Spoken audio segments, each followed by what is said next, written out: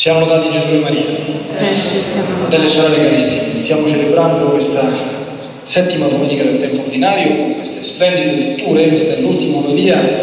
Vorrei fare un pochino un punto della situazione e poi mettere l'ultimo tassello alle riflessioni già inaugurate. La prima lettura ci ha presentato la figura del grande re Davide, che è stato un precursore del grande messaggio di misericordia e di amore che Gesù ci offre nel Vangelo. Il suo grande nemico e persecutore, Saul, era stato posto nelle sue mani, poteva tranquillamente ucciderlo e non l'ha fatto. Quindi non ha risposto al male con altro male, non ha ricambiato il male con il male. Ha detto lungi da me alzare la mano contro il consacrato del Signore. Se giustizia deve essere fatta, e giustizia doveva essere fatta, la farà l'Altissimo. E se uno vede il proseguo della storia, nel caso di Davide, l'Altissimo ha fatto giustizia non solo nell'altra vita, ma anche in questa vita, perché Saul ha fatto una brutta fine e Davide ha regnato su Israele al posto suo, e non per una settimana, ma per ben 40 anni. Capite, quando ci pensa nostro Signore, ci pensa sempre meglio. Nella seconda lettura San Paolo ci ha presentato il segreto per entrare in ciò che Gesù ci insegna nel Vangelo. Ci ha parlato di un uomo terrestre, terreno, e di un uomo celeste. L'uomo terrestre è rappresentato dall'umanità che ha avuto la sua origine in Adamo, che sappiamo bene che ha peccato, si è allontanato da Dio e ha causato la nostra decadenza, e l'umanità nuova rappresentata da Gesù, vero uomo come noi, e per cui dinanzi a noi si prospetta un duplice orizzonte di vita, vogliamo vivere alla Adamo, cioè in maniera molto umana, come Gesù dice nel Vangelo, amare chi ci, chi, chi ci ama, che ci vuole, sarebbe da folli insomma, no? Fare del bene a chi ci fa del bene, cosa c'è di straordinario? Questo lo fanno tutti, ma cos'è qualcosa che non fa nessuno e che ha fatto però Gesù per Gesù da buon maestro non ha soltanto fatto una lezione salendo in cattedra dicendo voi amate i vostri nemici, io no però, eh. Quando poi mi mettono in croce ti faccio vedere io quello che gli faccio. No, Gesù l'ha fatto prima, capite? Gesù come tutti i buoni maestri, prima parlava con la vita e poi parlava con la parola. Guai anche a noi se parliamo con la lingua e poi la nostra vita ci contraddice, si dice anche nel parlare comune, no? quando si predica bene, lo sapete tutti, no? E si razzola male, guai? Perché gettiamo discredito anche sulla, sulla bellezza e sulla nobiltà dell'insegnamento. Quindi Gesù ci insegna qualche cosa che non fanno tutti. La nostra vita cristiana non è quello che fanno tutti. Voi sapete che oggi diceva, questa cosa non c'è niente di male, lo fanno tutti. Ma proprio perché lo fanno tutti è una cosa normale il nostro Signore non è venuto sulla terra per insegnarci quello che fanno tutti, perché quello che fanno tutti non c'è sempre che c'è sta Lui, ce l'abbiamo davanti tutti i giorni, d'accordo? Basta guardare la nostra povera vita e quella di chi ci sta intorno. Gesù ci insegna qualche cosa di oltre. Allora, che ci insegna?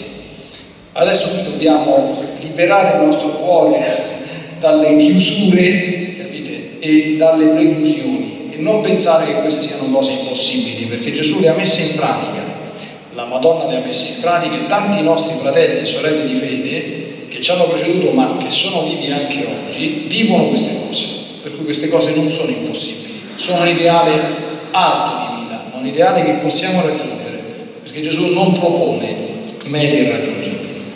Allora, amate i vostri nemici.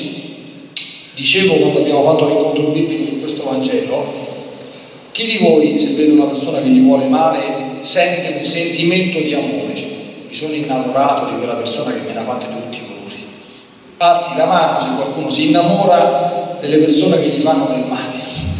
È possibile, no? Quindi Gesù non ci comanda di innamorarci di chi ci fa del male, ma dice amate i vostri nemici, cioè fate del bene a coloro che vi odiano. Questo si può fare. Se io so che una persona mi odia, e so che per esempio ha bisogno di aiuto, proprio una persona che mi odia, io posso dire sì, mi odia, ma la voglio aiutare. anche se dentro il mio cuore sento un combattimento, dico, mm, mi devo forzare a fare una cosa di questo genere, ma se voglio lo posso fare. Non so se lo avete mai fatto in vita vostra, perché bisogna vedere poi le facce che fanno le persone, che si sentono aiutati da noi sapendo che ci odiano. Tu, proprio tu, è da divertirsi con le facce che fanno, capite? Questo si può fare, capite? Questo si può fare ed è bellissimo farlo. Bisogna provare a vedere anche la gioia che si prova a fare una cosa di questo genere, quindi proprio a fare del bene ad una persona che non se lo merita, dice Gesù, ad una persona che si meriterebbe che tu la prendessi a schiaffi per il male che ti ha fatto. Non lo fai e non soltanto fai come Davide, no? Non reagisco, ecco lo scarto che dà Gesù. Davide non ha reagito, non l'ha ammazzato a Saul. Gesù dice fai qualcosa di più, fagli una cosa positiva. Capite? Sapete quando stavo in seminario che mi diceva dico anche ai miei cari ragazzi che stanno qui davanti, il padre spirituale, dice, dice padre, c'è sta sto seminarista che mi sta proprio antipatico, meno lo vedo meglio sto. Capitano queste cose, no? Mi dice, bene, lo sai che devi fare? Ti siedi la prossima volta a pranzo e cena vicino a lui, prendi la bottiglia d'acqua e gli metti un pochino d'acqua nel bicchiere. Mi stava insegnando come si fa a mettere in pratica il Vangelo nel piccolo, non dobbiamo immaginare le cose grandi, no? E guardate che va sicuro che prende quella bottiglia e lo lascia con l'acqua te prende un mal di panza, insomma dicono a Roma, però dopo che l'hai fatto stai bene, perché vedi quanto è bello vivere il Vangelo. Poi, benedite coloro che ti maledicono. Tu sai che una persona ti parla male dietro e tu parli bene di te. Dici, ma come faccio a parlare male di questo, a parlare bene di questo? Non ce n'ha uno, dice, vabbè, ma qualche cosa di buono, quindi perdi un po' di tempo a scoprire almeno una cosa buona che guardate che anche la peggiore persona della faccia della terra c'è qualcosa di positivo, e tu parli di tutto. Non scendere a livello, ti parlano male, lascia che parli, tu parla bene. Non ti vendicare, capite? Perché non è che si vendica soltanto dicendo ma ha parlato male e io gli parlo male. Poi pregate per coloro che vi maltrattano, cioè per quelli che vi trattano male. Una bella preghiera per loro per la loro conversione. Attenzione, pensandoci, eh, quando preghiamo per i nostri, tra virgolette, nemici, che non è che sono nemici perché noi li odiamo, ma sono nemici perché gli altri ci odiano. Eh. Noi dobbiamo sempre dire, io nemici non ne ho, forse c'è qualcuno che considera me il suo nemico, ma per me sono tutti amici, come vuole Gesù. Pregate per quelli che ti trattano male. Pensaci, nomina, non ti prego, Signore, per Francesco, che mi tratta tanto male, che tu lo riempi di grazie e di benedizioni, che gli doni la grazia della conoscenza del tuo amore e il dono della salvezza eterna. Così si fa. Qual è il segreto che sta dietro questa sapienza? Qual è il grande insegnamento che ci dà Gesù e che dobbiamo ritenere? Gesù ci dà uno stile di combattimento. Il male esiste nel mondo, sì o no? Sì, Cosa ha fatto Gesù nei confronti del male presente nel mondo? Se l'è preso su di sé e ha risposto al male col bene. E ci ha dato un segreto. Vuoi vincere il male? Bene. Tanto il male che viene fatto e quanto il bene che devi opporgli e anche di più. Sovrastalo, distruggilo, opponendo dilagare nel male una montagna di bene. Questo è il segreto. Perché starai meglio tu ed è l'unico modo con cui il male perde ogni vigore e ogni forza.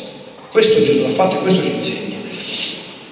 Qualche altro piccolo corollario e poi concludiamo, abbiamo ancora un pochino di tempo. La parte finale del Vangelo. Mi raccomando, siate misericordiosi, come è misericordioso il Padre nostro, questo riguarda i, nostri rapporti con il prossimo. Non giudicate non condannate, perdonate e date, queste cinque parole. La misericordia. Chi di noi davanti al nostro Signore potrebbe presentarsi dicendo, come facevano i farisei, ah io sono perfetto, non c'è niente di cui farmi perdonare. C'è qualcuno che ha la faccia di, fare, di presentarsi così davanti al Signore. Ricordate che se noi pensiamo di essere giusti, dobbiamo preoccuparci perché pensiamo di essere giusti, perché non ci conosciamo bene, non perché lo siamo realmente. Perché sul pianeta Terra i giusti non esistono, ne sono comparsi solo due. Uno si chiamava Gesù e un'altra si chiamava Maria. tutti gli altri stanno in un'altra dimensione, capite? Quindi noi giusti non siamo. Non giudicare che significa? Non pensare sempre a male delle intenzioni del prossimo, cosa che gli uomini fanno dalla mattina alla sera.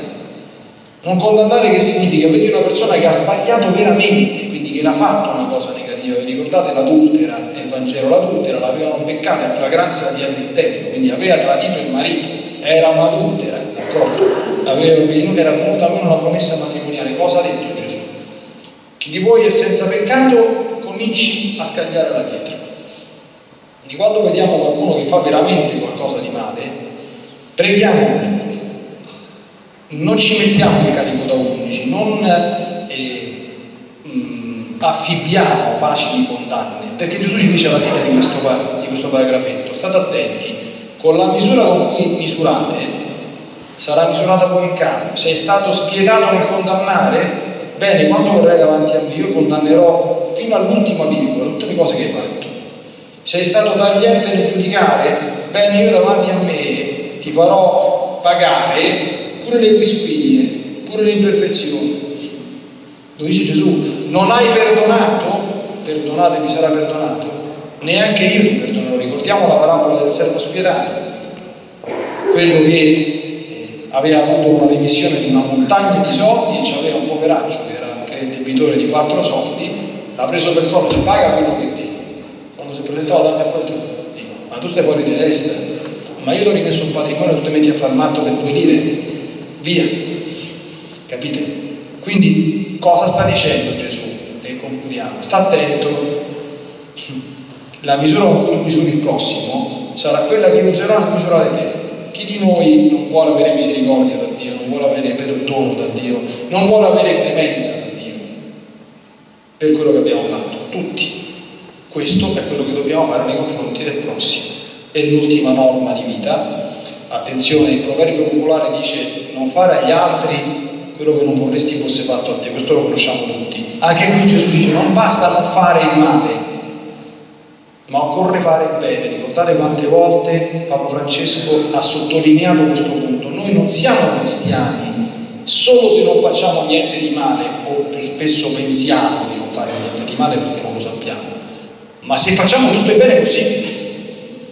Non basta che tu non fai all'altro quello che non vorresti fosse fatto a te, fai, opera, agisci, fai quello che tu trovandoti in quella situazione vorresti che gli altri facessero con te